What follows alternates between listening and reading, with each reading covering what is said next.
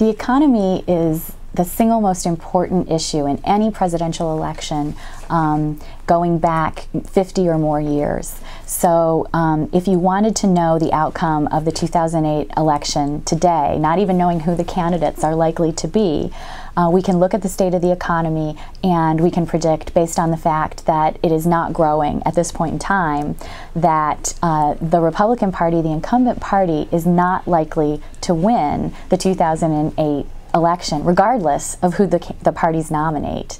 So even in the face of war, um, the Vietnam War, World War II, the Korean War, uh, any kind of international conflict, the economy is still the most important issue, and it's for one single reason. Public opinion on the economy is never divided. People prefer prosperity to decline.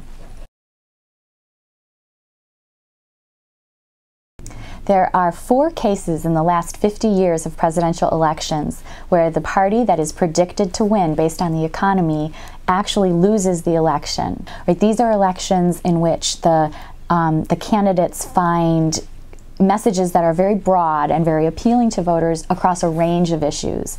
So in 1960, John Kennedy talked about the missile gap um, and how America was falling behind the Russians in technology, in mathematics, um, in all sorts of things, literature, space exploration, and that we had to catch up. We had to catch up to the Russians. And it was Richard Nixon who had presided over this slump in our productivity, and there was nothing Nixon could do to counter that. And Kennedy is able to make that more important than the economy.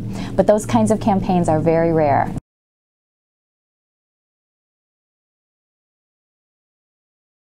I think in the primaries, they have very little incentive to talk about the economy other than to say to people, you know, we're, we're going to address the situation and we're going to bring more dollars to your pockets. We rarely have debates in presidential campaigns about economic policy.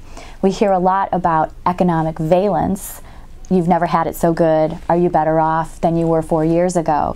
But we rarely hear specific policy um, ideas discussed during presidential campaigns about the economy. So my sense is that right now the candidates are doing exactly what um, they'll continue to do throughout the general election, which is talk very generally and in very vague terms about how their party can deliver prosperity.